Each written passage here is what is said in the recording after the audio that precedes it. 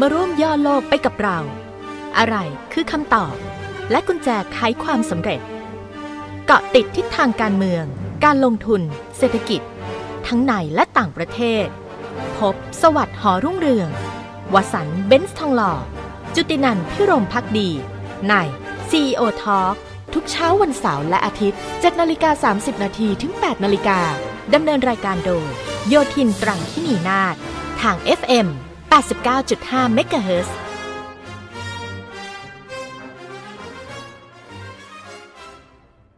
เบนซ์รามินทราโชว์รูมใหม่ ศูนย์ซ่อมใหญ่ และที่เบนซ์ทองหล่อ ลูกค้าเรื่องใหญ่กำไรเรื่องเล็ก ทั้งงานซ่อมและงานขาย พลอยจะไม่ยอมให้ใคร ขายตัดราคาถูกกว่าเป็นอันขาด เราอยู่ทุกวันแล้วครับแค่คุณเปิด โลกก็กว้างขึ้น พบมิตรภาพที่หลากหลาย ที่ที่เป็นจุดเริ่มต้นของหลายสิ่ง ที่ที่ความสุขมีไว้แบ่งปัน ไปเปิดด้วยกันกับเรา สิง Discover 500กาลาปากอสแค่คุณเปิด โลกก็เปลี่ยน สิง Discovers 500 แค่คุณเปิด โลกก็เปลี่ยน ส่ง EMS กับไปรษณีย์ไทย สามารถตรวจสอบสถานะสิ่งของได้ทุกขั้นตอน ส่งของมั่นใจ ตรวจสอบได้ทุกเวลา ผ่าน call center ไปรษณีย์1545เบนซ์รามินทราโชว์รูมใหม่ ศูนย์ซ่อมใหญ่ และที่เบนซ์ทองหล่อ ลูกค้าเรื่องใหญ่กำไรเรื่องเล็ก ทั้งงานซ่อมและงานขาย พลอยจะไม่ยอมให้ใคร ขายตัดราคาถูกกว่าเป็นอันขาด เราอยู่ทุกวันแล้วครับอ อรุณสวัสดิ์เช้านี้ท่านผู้ฟังที่เคารพกลับมาพบกันในรายการ CEO Talk วันนี้วันอาทิตย์ครับ 7 กรกฎาคม 2562 วันนี้แน่นอนนะฮะ ก็ช่วงนี้อากาศเปลี่ยน หลายคนก็คงจะต้องย้ำกันอีกรอบหนึ่งดูแลสุขภาพกันให้ดีนะครับ ช่วงนี้ครับท่านใดบ้านใดมีผู้หลักผู้ใหญ่มีเด็กนะฮะมีคนแก่มี ผู้สูงอายุมีความสำคัญอย่างยิ่งนะครับ ที่จะต้องเฝ้าดูแลเรื่องสุขภาพ ไข้หวัดใหญ่ระบาดนะครับ พร้อมๆกันกับไข้เลือดออก ทางที่ดีแนะนำนะครับก็สามารถที่จะไปฉีดวัคซีนป้องกันไข้หวัดใหญ่ได้ ในโรงพยาบาลรัฐบาลหลายโรงพยาบาลนะครับมีแคมเปญราคาไม่แพงครับ แล้วก็ที่สำคัญนั้นบางแห่งถ้าอยู่ในพื้นที่ อยากจะให้ตรวจสอบกันก่อนนะฮะเขาให้บริการฟรีนะครับ ส่วนเรื่องของไข้เลือดออกนะฮะแน่นอนนะฮะมาจากยุงลายที่มีแหล่งที่มาก็คือเกิดจากน้ำบ้านใดที่มีน้ำขังนะมีชุมชนที่มีน้ำเน่าเสียนะฮะเราก็จะพยายามจะบอกว่าไปติดต่อที่เขตนะฮะท่านใดสะดวกไปติดต่อที่เทศบาลหรืออำเภอนั้นๆเนี่ยนะครับ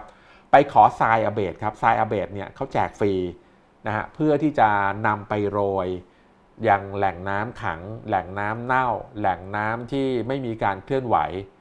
มันจะสามารถที่จะปกป้องนะฮะเรื่องของยุงที่มาไข่ไว้ แล้วก็เติบโตขึ้นนะฮะอยู่ในวงจรชีวิตของยุง เป็นตัวพาหะที่จะนำเชื้อของไข้เลือดออกนะฮะมาสู่พี่น้องนะฮะรวมทั้งคุณผู้ฟังได้นะฮะก็ไปติดต่อกันดูครับ แล้วก็ที่สำคัญถ้าท่านใดไม่สะดวกเนี่ยนะครับ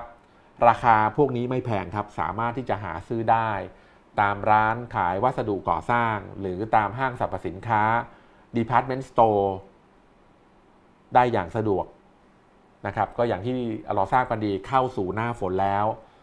อะไรที่เรานั้นดูแลกันได้นะฮะแล้วก็ปกป้องกันได้ก็ดูแลกันไป ใช้วิธีการถ่ายน้ำนะฮะออกไปจากภาชนะเดิมที่มีอยู่ นะก็จะสามารถที่จะช่วยลดภาวะความเสี่ยง ในการมียุงลายที่จะมีการเพาะพันธุ์นะฮะแล้วก็เติบโตขึ้นมาเป็นวงจรของยุงนำไข้เลือดออกมาสู่ผู้ฟังได้นะฮะอย่างน้อยก็เป็นการลดปริมาณความเสี่ยงลงนั่นเองนะครับเอาละครับท่านผู้ฟังครับ เมื่อวานนี้หลายคนก็ได้มีโอกาสฟังนะฮะงาน The Musical Talk by สวัสด กับชีวิตคิดบวกนะฮะผมเข้าใจว่ากำลังสนุกสนานนะครับกำลังที่จะได้รสชาติเรื่องของชีวิตการต่อสู้ การดิ้นรนการเติบใหญ่นะฮะแล้วก็ชีวิตในวัยเด็กนั้นของแต่ละคนนั้นไม่ธรรมดานะครับทำไมเราจะต้องเอาชีวิตของผู้ชายคนหนึ่งนะฮะอย่างคุณสวัสดิ์ออกมาให้คุณผู้ฟังได้ฟัง ผมเชื่อนะครับว่าคนคนนี้เป็นซัมบอดี้ที่ทุกคนก็รู้จัก นะฮะมีสถานะทางสังคมนะฮะมีเรื่องราวที่จะสามารถถ่ายทอดแล้วก็เล่าสู่กันฟังได้ ไปจนชั่วลูกชั่วหลาน และที่สำคัญไปกว่านั้นเนี่ยนะครับ ชีวิตก็คือชีวิต ชีวิตก็คือการต่อสู้ เราจะต้องก้าวเดินต่อไป ปัญหามันมีให้มาให้แก้ทุกวัน แน่นอนนะครับ สิ่งที่เกิดขึ้น อยู่ใน บรรยากาศบนเวทีวันนั้น เชิญคุณผู้ฟังนะครับไปติดตามรับฟังกันต่อจากเมื่อวานนะฮะแล้วก็ช่วงนี้จะขอพักสักครู่ครับ ช่วงหน้ากลับมา พบกันสักครู่ครับ ช่วงเปิดโลกสนับสนุนโดย อร่อย น้ำแร่ร้อยเปอร์เซ็นต์เบนซ์ทองหล่อ 02 714 8888 ผลิตภัณฑ์ผักแปรรูปตาพ่อครัวบาย NK Food Isuzu m i l X รุ่นพิเศษ The Onyx น้ำดื่มสะอาดน้ำดื่มสิง ส่ง EMS กับไปรษณีย์ไทย สามารถตรวจสอบสถานะสิ่งของได้ทุกขั้นตอน ส่งของมั่นใจตรวจสอบได้ทุกเวลาผ่านคอเซ็นเตอร์ไปรษณีย์1545 เข้ามาในช่วงที่ 2 ของรายการนะครับท่านผู้ฟังครับ เชิญคุณผู้ฟังไปติดตามฟังนะฮะบรรยากาศบนเวทีต่อจากเมื่อวาน เชิญครับ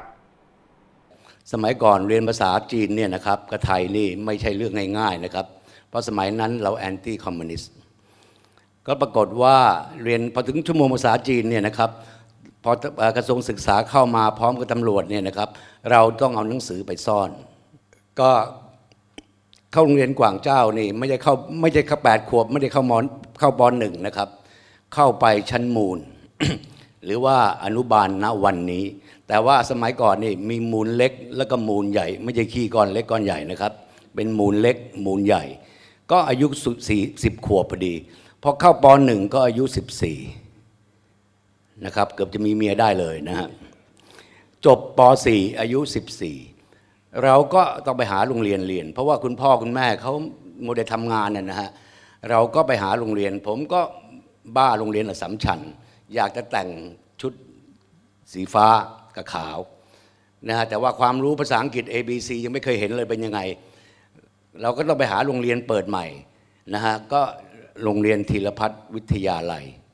นะครับแล้วก็เป็นสาขาจริง ๆ แล้วเนี่ยนะครับโรงเรียนธีรพัฒน์อยู่ศรีพยา ค่อนข้างจะดังของอาจารย์ใช้แม่นมาดยังจำแม่นนะครับ เสร็จแล้วท่านไปเปิดใหม่ที่บางจากนะครับพระโขนงเลยไปนะฮะตรงปากตรงเข้าไปทางซอยพิ่งมีก่อนก่อนจะถึงซอยเนี่ยนะครับมีโรงงานอยู่โรงงานหนึ่งก็คือโรงงานวิเศษนิยมนะครับเมื่อก่อนไปเรียนหนังสือทีงเนี่ยนะครับ ผมจะต้องตื่นจากบ้านแต่เช้าเนี่ยนะครับ เดินไปจากวรจักรไปขึ้นรถที่สะพานดำคือที่วัดสเกตนะฮะที่กองประปานะครับ ขึ้นรถกระทรวงศึกษา 25 ตังค์ไปถึงพระขนง เพราะฉะนั้นเนี่ยนะฮะเพราะเขาไปเรียนมหนึ่งปั๊บนี่เขามีโรงเรียนประจำด้วย แต่ว่านักเรียนประจำนี่กินข้าวอยู่กับโรงเรียน เที่ยง ครูเนี่ยนะครับเขามาให้เราบอกว่าเราจะต้องชั่วโมงเที่ยงเนี่ยนะเราต้องต้องเสิร์ฟอาหารให้กับ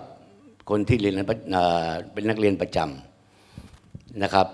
ไอเราไม่เราก็ไม่มีตังค์นี่ก็ก็ไม่ได้เรียนนักเรียนประจำแล้วก็ไม่มีไม่ได้ผูกกินเป็น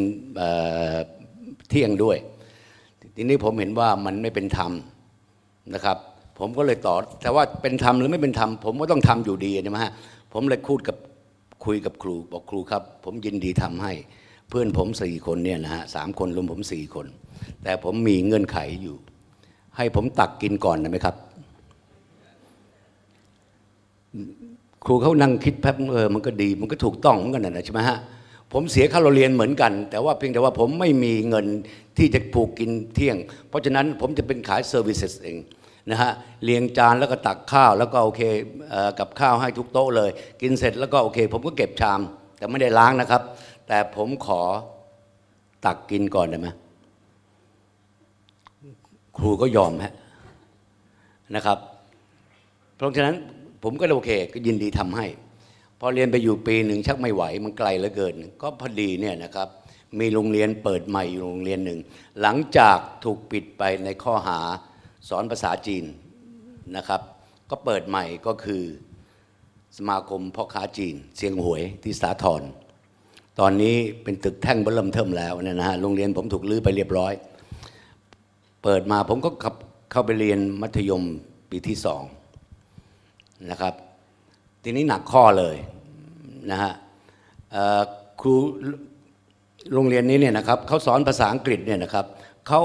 เอาแบบเนี่ยนะฮะ เอาทั้งหมดเลยเนี่ยนะครับมาจากอสสัมชัญเล่มแรกเลยเนี่ยนะฮะอ่าน Star Reader ก็ผม A B C ผมยังไม่เคยยังไม่เคยเห็นเลยนะฮะถ้าภาษาจีนเนี่ยนะฮะผมก็บอกว่าพวกมึงสู้กูไม่ได้หรอกเดี๋ยวมาแต่เพราะว่าผมเรียนมา 6 ปี ผมไม่เคยเรียนภาษาอังกฤษเลย เพราะฉะนั้นเนี่ยนะกว่าจะแหม M O T H E R mother F โอ้โหไม่ไหวไว้ท่องไม่ไหว นะครับ M A N man เนี่ยนะแล้วก็ท่องไม่ไหว ก็เลยผมก็เริ่มที่จะไม่อยากเรียนนะครับหนีเรียนหนีเรียนตั้งแต่ม .2 อันนี้สิเพราะว่าเราเรียนม .2 ก็จริง แต่อายุ 16 แล้ว 15 16 นะครับหนีเรียนทีนี้มีครูอยู่คนหนึ่งเนี่ยนะครับ ท่านเก่งมากนะครับเอ่อ ท่านเป็นนักเรียนในร้อยจอบรอ ปีสุดท้าย แต่ว่าบังเอิญเนี่ยนะครับ มีการแข่งกีฬาระหว่างมหาวิทยาลัยนะฮะก็มีการชกต่อยกัน ทางฝ่ายมหาวิทยาลัยหนึ่งเนี่ยนะฮะมีคนบาดเจ็บ ก็ทางโรงเรียนในร้อยปจบรอที่อยู่สวนลุมเนี่ยนะครับ ก็เลยบอกว่าถ้าไม่มีในชั้นเนี่ยในรุ่นนี้ ถ้าไม่มีใครรับว่า ใครเป็นคนก่อเรื่อง จะไล่ออกทั้งรุ่น ครูผมกับเพื่อนนะครับ ก็ก้าวออกมา บอกว่าเขาเป็นคนสองคนทำสองคนนี้ก็ถูกไล่ออก และท่านก็มาเป็นครูสอนผมนะครับ ท่านชื่อครูประทีปอำนักสรเดชตระกูลท่านเป็นทหารหมดเลยนายพลหมดเลยนะฮะท่านแปลกนะ ท่านรู้ได้ยังไงว่าผมชอบหนีเรียน หมายความว่า ก่อนจะมาสอนผมเนี่ยนะท่านขอสมุดพกหมดเลย ทุกคนนะฮะมาอ่านดู พอเข้ามาสอนผม ท่านคุยกับผมยังไงรู้ไหมครับ เรียกผมกับเพื่อนอีกสองคนมา ท่านบอกว่าฉันครูไม่เชื่อหรอกว่าแปดชั่วโมงที่เธอมาโรงเรียนหนังสือ ไม่ชอบเลยสักชั่วโมงเดียว เอาอย่างนี้แล้วกัน ต่อไปนี้เธอไม่ต้องหนีเรียน ชั่วโมงไหนเธอไม่อยากเรียนยกมือขึ้น แล้วก็ออกไป ชั่วโมงไหนอยากเรียนก็เข้ามาเรียนถือว่าไม่ขาดเรียนโอเคไหม ผมก็บอกโอเค ดีเหลือเกินหน่อยอย่างเงี้ยใช่ไหมฮะเสร็จแล้วเราก็